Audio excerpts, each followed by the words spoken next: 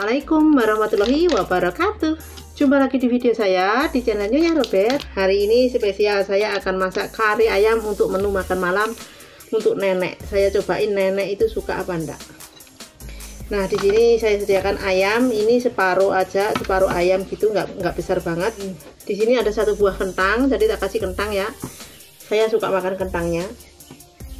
Nah bumbunya ini ada satu bungkus bumbu kare dan ada santan.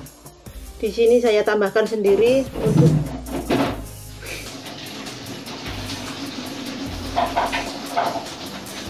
maafkan tuh berisik nenek mandi.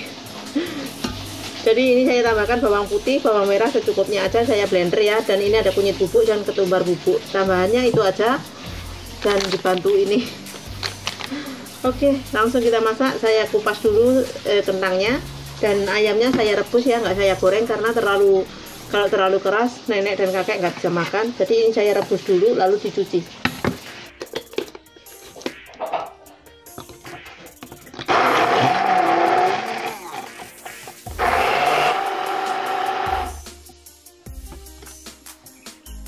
Nah ini kentangnya juga sudah siap.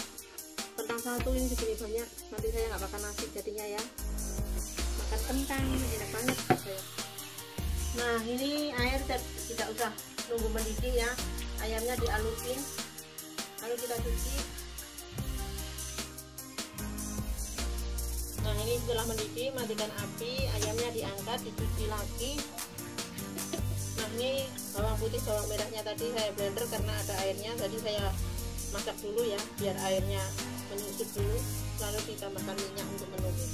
Nah, seperti ini kita boleh tambahkan minyak ya untuk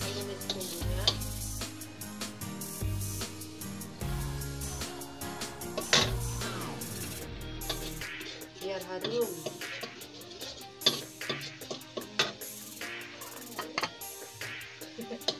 Aman nih biru suara saya nih. Sambil mandi. Nah ini tambahkan ketumbar bubuk dan kunyit bubuknya. Nah ini bumbu jadinya sudah juga saya tumis ya. Nah ini setelah bumbunya matang kita masukkan kentang. Kentang tidak digoreng ya kalau mau digoreng silahkan kita masukkan ayam yang sudah dicuci tadi.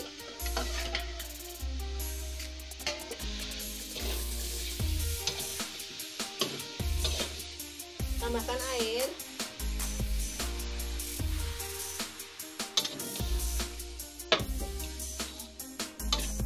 Tambahkan sedikit santan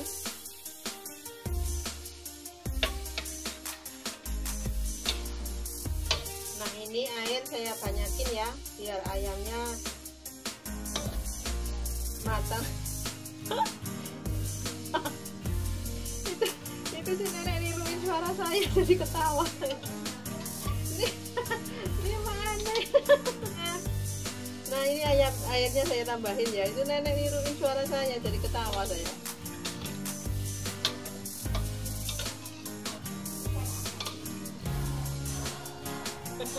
nah ini kita masak sampai ayamnya empuk atau bumbunya juga meresap ya. Nah ini saya kurang asin saya tambahkan garam.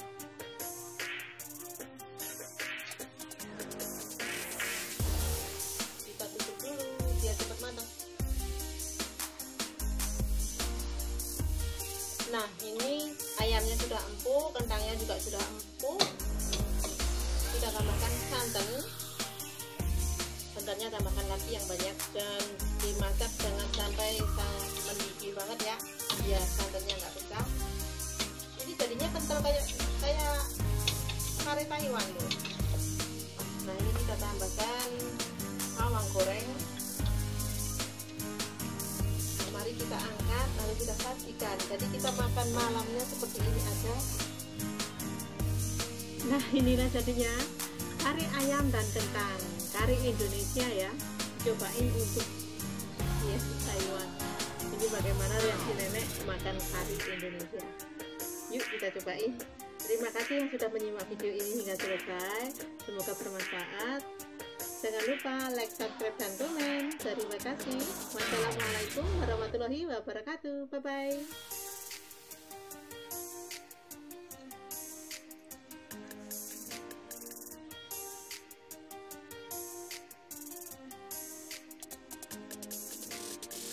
jadi Ama itu nggak suka kuahnya ya. Ama nggak suka koko atau kental gitu. Sama Si ini kari ya. Saya bilang ini kari Indonesia. Bu ayah. Ama Ama nggak seberapa suka ya